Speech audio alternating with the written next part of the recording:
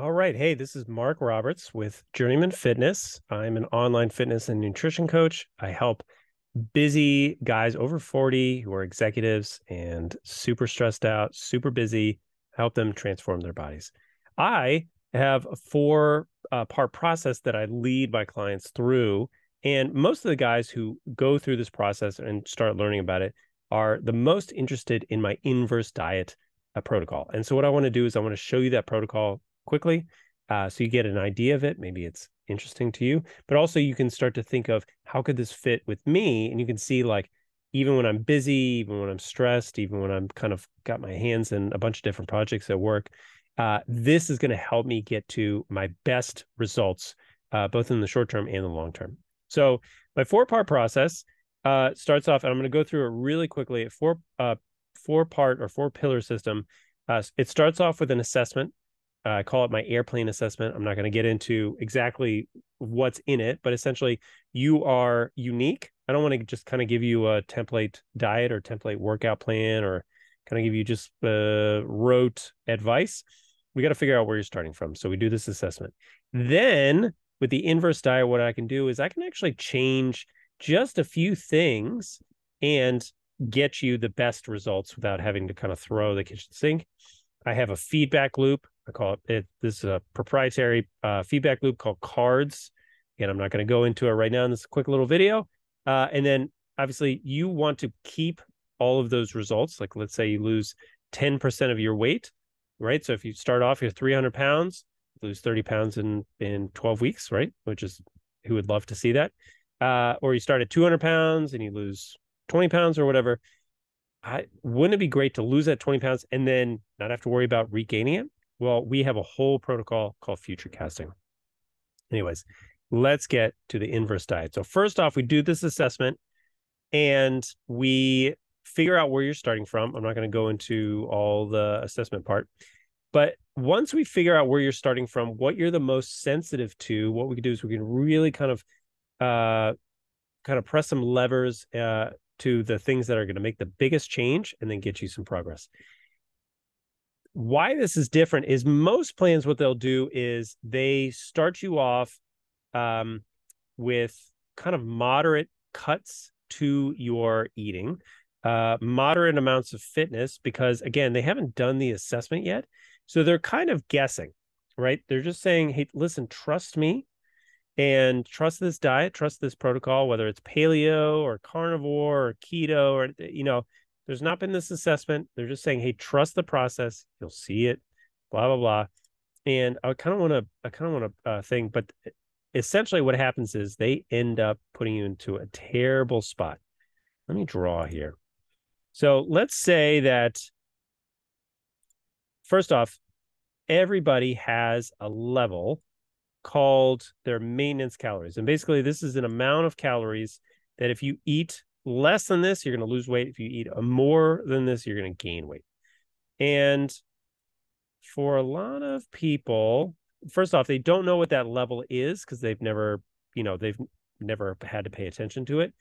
Um, but they've pro- probably what's happening is they're probably eating just slightly above it because you, you may have noticed, like, hey, listen, I've been putting five pounds on every single year for the last couple of years, and now I just feel like I need a big change. Well, you're probably eating slightly above the maintenance on average, and you just have no idea.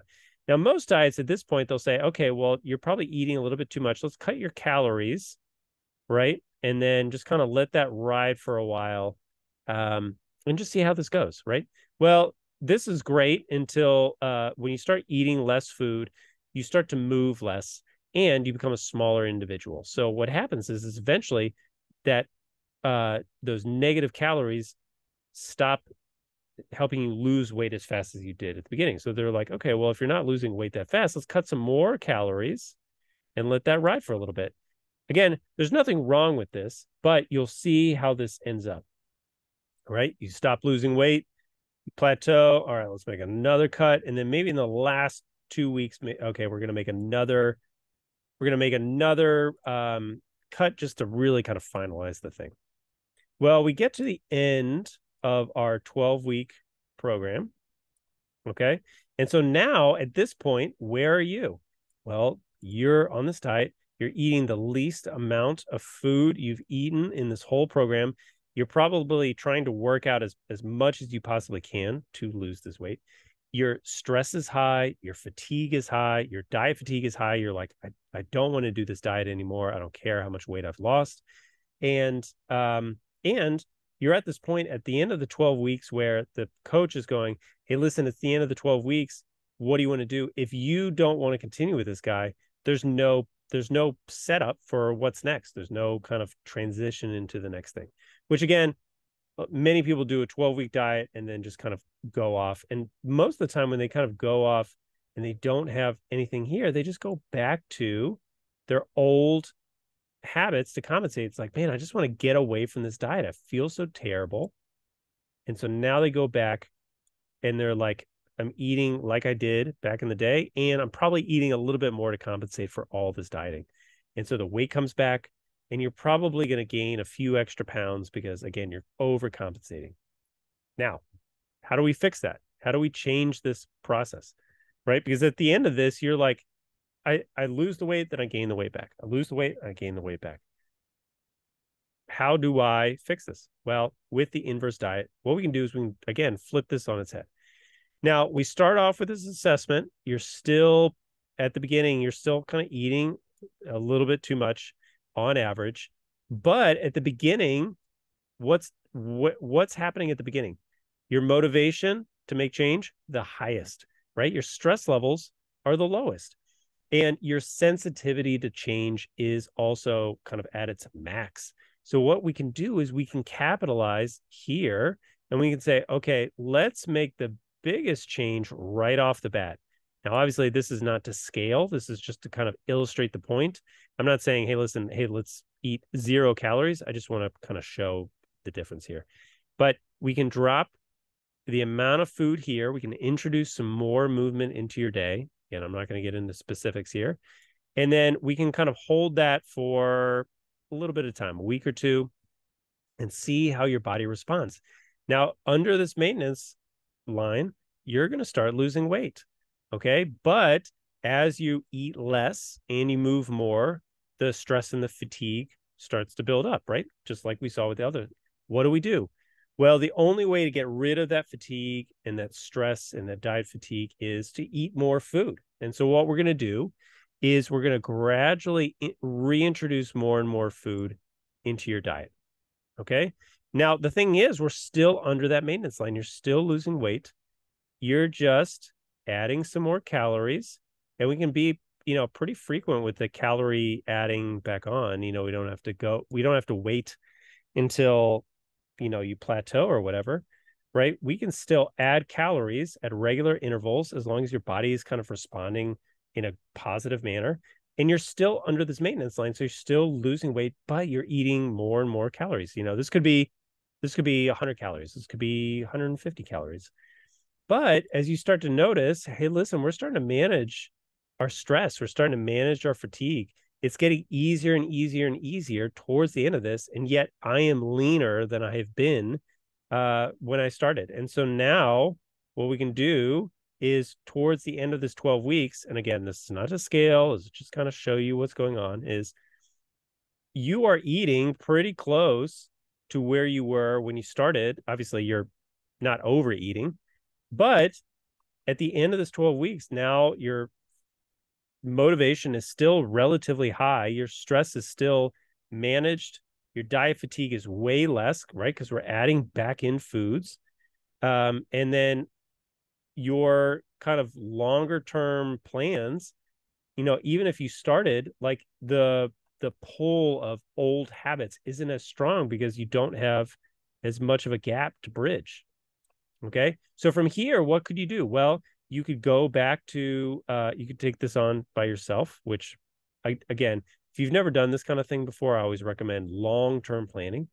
Uh, you could say, hey, listen, I'm just going to go into maintenance and take a couple of weeks off and just try to not gain any weight maybe I want to lose some more weight. You know, you could spend a few weeks at maintenance and then go right back into another one of these inverse diets. Or maybe you understand, hey, listen, I got really lean. I'm 30 pounds down and I realize I need some more muscle. So I want to get into a muscle muscle gain phase and then we can totally switch it into something that's there. Anyways, that's long-term planning, but that is the inverse diet. That's that's what we can do to capitalize on all the great stuff at the beginning and then manage that fatigue, stress, and motivation throughout it and have you get the transformation that you're looking for. And then at the end, understand I can keep this progress because I'm just in a better spot at the end of these 12 weeks. Now, if you're interested in learning how exactly this would work for you, well, I'd love to chat on a phone call, right? Or at least a message. So you could send me a message and say, Mark, tell me more about inverse diet. Basically, if you if you type in inverse diet, I'll know exactly what you're talking about. Um, if you want to set up a phone call, you can also uh, we could find a time that works for your schedule and we can hop onto a Zoom call or a phone call for 20, 30 minutes and kind of get started. So hopefully this video was valuable and I uh, am more than happy to dive deeper into this and get more specific into your schedule and to your obstacles and then also your goals and how I can help kind of guide you through that, even though you're super busy, you got a lot of responsibility, and we can't really, uh, you know, we've got to work around all that stuff. So hopefully this is helpful. Uh, hopefully you enjoyed this video. Uh, have a great